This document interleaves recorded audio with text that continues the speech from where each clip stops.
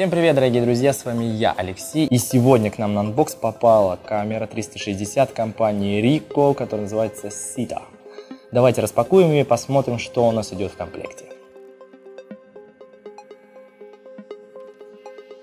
Итак, вскрываем упаковку и смотрим, что у нас идет в комплекте. У нас здесь такая вот коробочка Откидаем сразу все наши створки. В верхней части упаковки у нас лежит, соответственно, сама камера 360. Упакована вот в такой вот поролоновый пакетик. Давайте достанем, посмотрим на нее быстро, но в конце более подробно. Вот такая вот она компактная, умещается в ладонях совершенно спокойно. Две линзы, много клавиш. Рассмотрим поподробнее чуть позже. Откладываем в сторону. Внутри коробки у нас также лежало три вот таких вот пакета. В первом у нас лежит чехол для камеры, во втором провод, в третьем мануал. Давайте достанем их и посмотрим более подробно. Я думаю, это не помешает. Вот такой вот у нас чехольчик идет, без молнии, без застежек, без всего, просто такой для телефона чехол вкладыш. Вот так вот камера в него влезает у нас.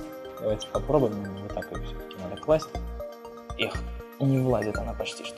Очень туго залезает, но в принципе я так понял, что нет, она четко по размеру. Вот такой вот чехольчик для камеры.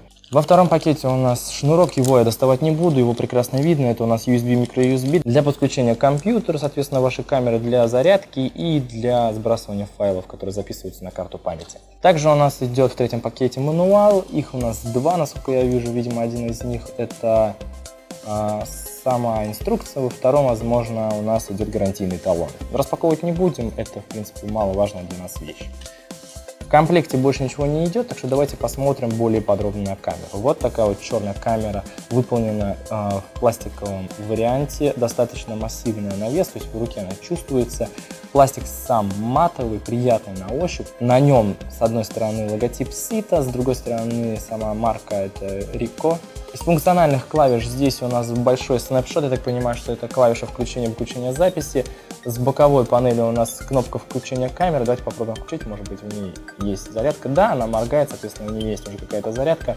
Средняя клавиша это у нас клавиша Wi-Fi, wireless соединение. Третья клавиша переключения режима фото и видео.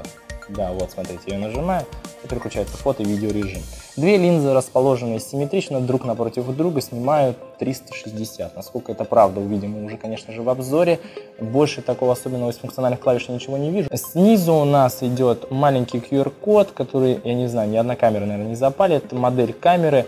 Также у нас разъем под HDMI, не знаю, какой у него функционал, возможно, выводить картинку на телевизор, скорее всего, микро HDMI, переход на HDMI, да, э, микро USB, соответственно, для подключения нашего провода. И м, круглое отверстие, соответственно, крепление под штатив универсальное.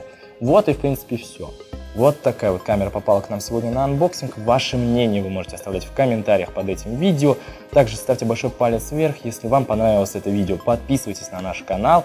Более подробно вы эту камеру увидите уже на обзоре. Ну а с вами был Алексей и всем пока-пока-пока.